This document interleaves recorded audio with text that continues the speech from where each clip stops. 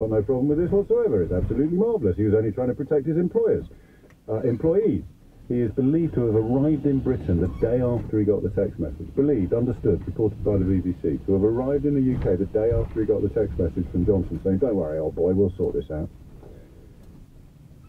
So now all I have to do is remember to explain to you why it also reminds me of cab drivers getting shafted by Uber. You can work that one out, blank faces in the studio. If you can work that one out, I'll give you the money myself.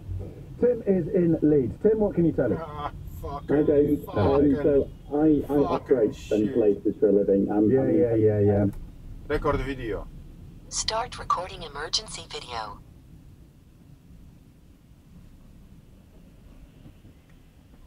Naprawdę, kurwa? Naprawdę?